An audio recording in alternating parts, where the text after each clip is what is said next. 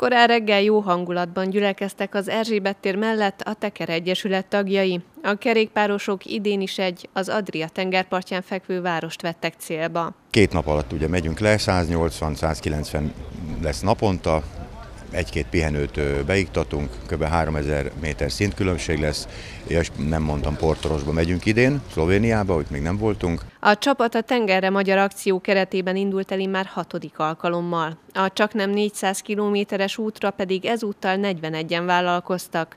A résztvevők elmondása szerint a táv nem teljesíthetetlen. Tulajdonképpen az egész év egy felkészülés. hát azt be kell valljam, hogy most ebbe az évben ez lesz a leghosszabb túra, mely leghosszabb nap.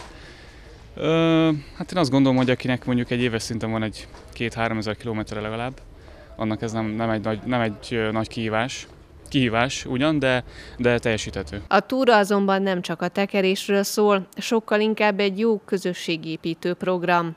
Az Egyesület alelnöke híradónknak azt is elárulta, hogy ebben az évben a Giro d'Italia jegyében kerékpároznak. A világ egyik legjelentősebb országúti kerékpáros körversenyének mezőnye 2020-ban Magyarországot és Nagykanizsát is érinti, az esemény pedig már nagyon várják a helyi bringások.